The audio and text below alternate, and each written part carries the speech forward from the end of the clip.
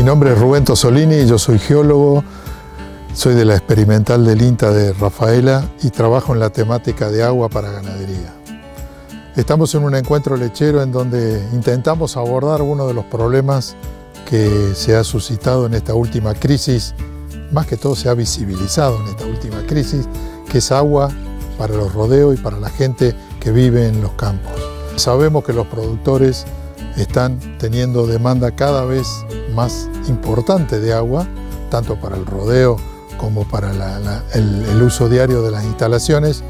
y nosotros desde la institución creemos de que debemos aportar con tecnologías que uno considera blandas que permitan mitigar este fenómeno. En algunas situaciones podemos llegar a una solución total del problema y en otros son aportes. Pero creo y coincido con muchos de mis colegas de que el productor debe considerar el agua como un alimento más, lo debe conocer, eso implica evaluarlo,